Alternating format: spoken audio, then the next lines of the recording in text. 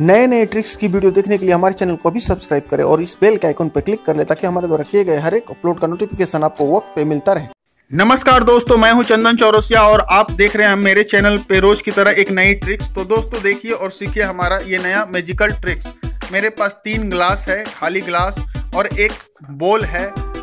और मैं अभी इससे आपको एक मैजिकल ट्रिक्स दिखलाऊँगा। तो पसंद आए तो लाइक ज़रूर करें दोस्तों। तो देख, चलिए मैं स्टार्ट करता हूँ आज का ये मैजिकल ट्रिक्स तो इस बोल के ऊपर एक ग्लास को रख दिया और ये दो खाली ग्लास है मेरे सामने।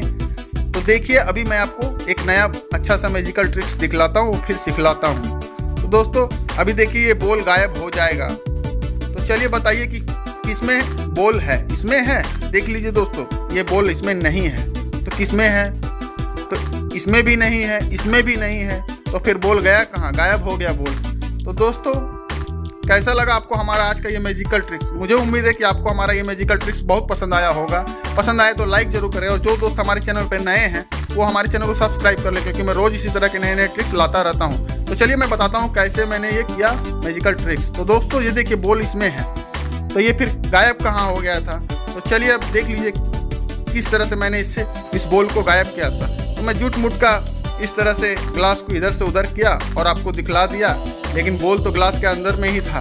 तो फिर ये गायब कहाँ हो गया? तो देखिए, इस तरह से मैंने ग्लास पे कट लगा करके रखा हुआ है और मैं ग्लास को इस तरह से उठाता हूँ कि वो बोल इसी में उठ जाता है। इस तरह से दबा करके इस कट को और उठा लेता हूँ तो ये उठ जाता है। तो सामने वाले, देखने वाले को लगता है कि ये बोल गायब हो गया। तो मुझे उम्मीद है कि आपको पसंद आया होगा आज का हमारा वीडियो